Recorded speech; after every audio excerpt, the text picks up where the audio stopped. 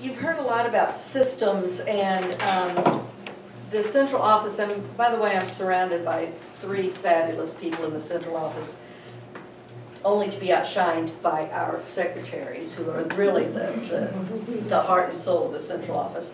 But um, we have such tremendous talent in the central office, it's, it's really fun to come to work.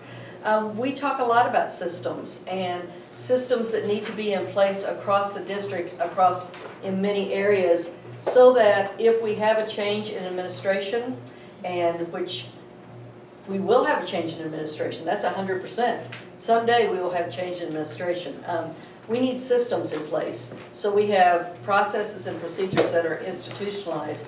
And so if there's a change, that those systems will stay in place. Um, one thing exciting about our transitions and what Diane is doing is we now have a vertical communication and vertical conversation in the district, and that's only going to become more and more prevalent. Um, early childhood needs to talk to the elementary schools. The elementary schools need to talk to the middle school. The middle school needs to talk to the high school and all the way back down again. We need to have that communication across across all the levels so that we know what, what at elementary is, is being done and achieved so that at middle school they can move on. And that's tough to have those conversations, but it's, it's something I think we need. Um, we did have a great day at the board retreat on October 6th. We spent a long day.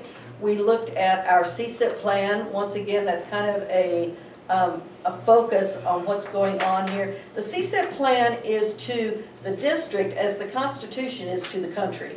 It's very important to, to know what's in that CSIP plan, to have um, a absolute uh, belief and, and connection to across the district.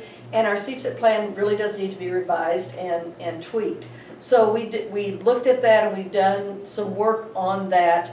Um, we have, there were three goals that I kind of took everything that we talked about that day and put them into three goals this is very, very early, and I'm not handing them out to you because they will change. They, it's a very early um, document, but the goals are number one, Marshall Public Schools will provide and maintain a safe and supportive environment which contributes to the academic success, confidence, and happiness of all students. Goal two, Marshall Public Schools will recruit, support, and retain highly effective teachers, staff, and leaders who find joy in the workplace and are dedicated to the district's mission of excellence. Goal three, Marshall Public Schools will encourage the involvement of all students, families, school employees, and taxpayers, and will work to establish and maintain cooperation across the entire school community.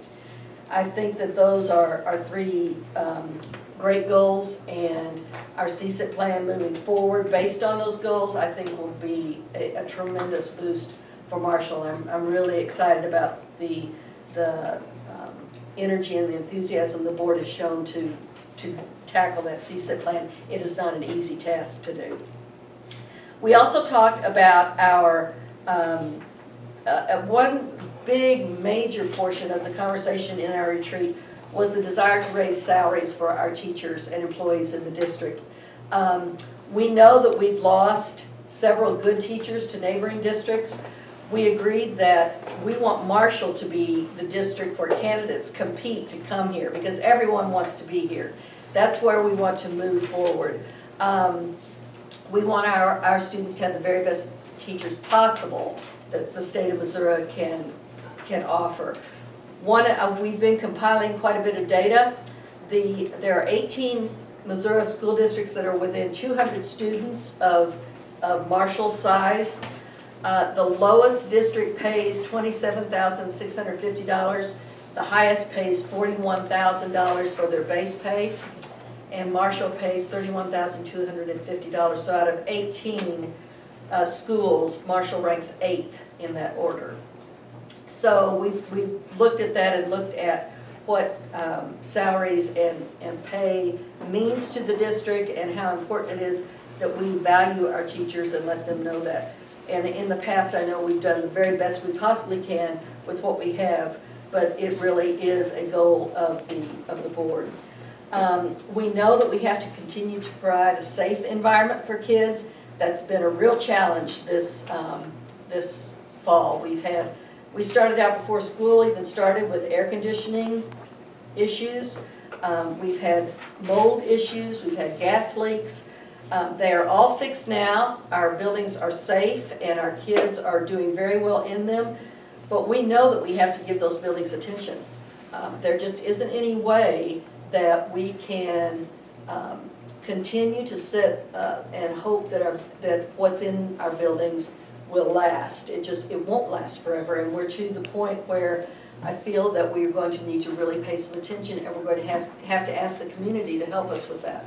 Um, We just, we really need, need to work on our facilities also.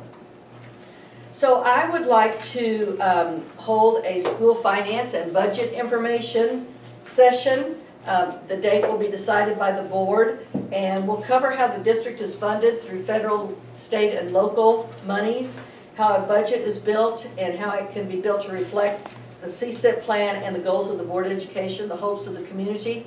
So as soon as we get that date, I will publicize that and let folks in the community know they are more than welcome to come to that meeting.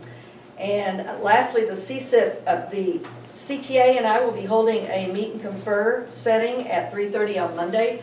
They are a great bunch. I enjoy meeting with them, and so if any of the board is interested in coming and talking to the CTA and um, listening to what we have going on communication-wise with the central office and the rest of the district, particularly our teachers, you are more than welcome.